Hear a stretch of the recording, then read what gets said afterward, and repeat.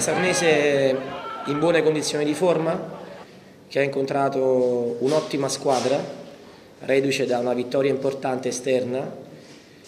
Noi l'abbiamo messa sul dinamismo, sulla grinta, sull'applicazione tattica. Abbiamo studiato la partita contro il 3-5-2 avversario, siamo riusciti tatticamente a trovare le contromisure giuste in gara e non era facile e alla prima disattenzione li abbiamo puniti. Nel secondo tempo poi potevamo chiuderla con l'accelerazione la, di Maione terminata sul palo, poi ci siamo difesi e abbiamo contenuto abbastanza bene la partita. Potevamo sfruttare anche di più le ripartenze perché comunque eravamo schierati con tre attaccanti, eh, due attaccanti esterni più Maione.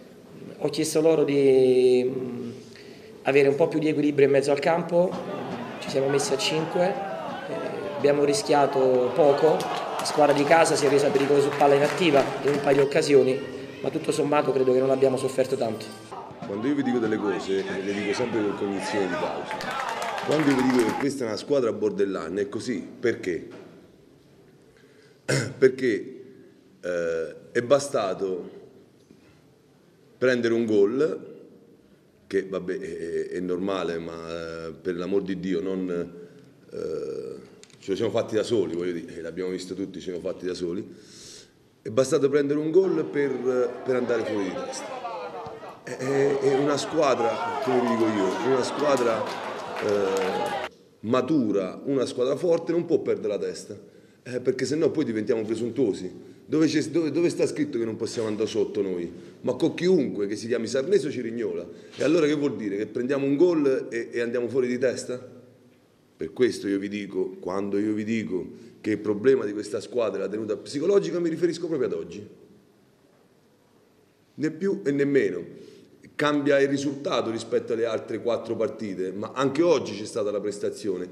L'unico neo, torno a ripetere, l'unico neo, e gliel'ho già detto anche ai ragazzi, ovviamente in modo molto sereno, che non possiamo perdere la testa se andiamo sotto, ma, ma non esiste. Oppure voglio dire, eh, eppure siamo diventati Barcellona che il primo tempo doveva finire 3-0 perché di fronte avevamo una Sarnese a cui faccio i complimenti. Allora siamo diventati presuntuosi, non esiste, ci sta, ci sta perché le delusioni nella vita avvengono quando ci sono delle false aspettative. Noi non ci dobbiamo creare false aspettative, noi siamo questi, nel bene e nel male.